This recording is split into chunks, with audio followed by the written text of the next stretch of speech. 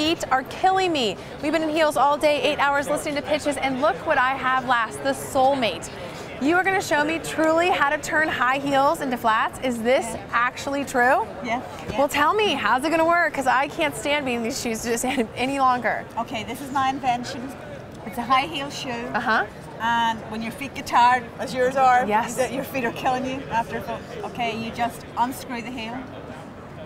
Just take a couple of, and That's comes it. off, and that's your flat flat No heel. way. You should see our bags. We're, we're all carrying flip flops around. Yeah, that's it. And it You don't goes back to- on. And that's it. And you have your flat heel shoe.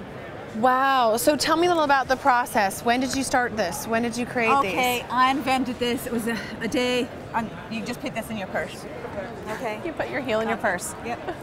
So I was at a wedding Uh-huh. one day, and at the end of the day, If you go around the back. everyone had their shoes in their hand. Of course, we always do. Everyone, all, all the ladies. And well, I just got I just got home and I just thought, oh, there's got to be an easier way. So you cut the heel off your that. shoe then, right? Yeah. So I just invented this. So where are you in the process? Is this something that you guys have now, or can I get these? Are you selling these? Okay, we are just we just um, put together this. It's a obviously it's a rough prototype. Right. We, we put all our, we've just put all our money into it. Right now, we're just looking for investors just to, to take the process further. This is incredible. So the heel and the shoe and everything comes with it. So essentially, you're going to be selling shoes that we can take off trendy styles and turn into flats. Yes. Do you think It's maybe like we can do that with mine? We can just cut the heel right off.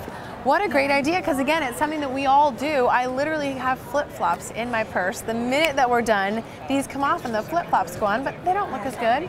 They don't look as cute, right? Yeah, that's right. You must be getting everybody going. Oh, this is Yeah. perfect. Where have Every- you been? Everybody's saying, where can I buy them? Where can I get buy them? Where Well, I can saw you them? pitching over there, and I have to tell you, I was excited. So, thank you for being the last presenter of the day. I've been waiting for you literally because, obviously, as I said, I've been in four inch heels all day. And you know what? This is obviously a home run. This is something that everybody needs. It's a creative invention, and congratulations, you're the first to do it. Thank you. Thank you. It was a pleasure meeting you. You too. Thanks for coming here.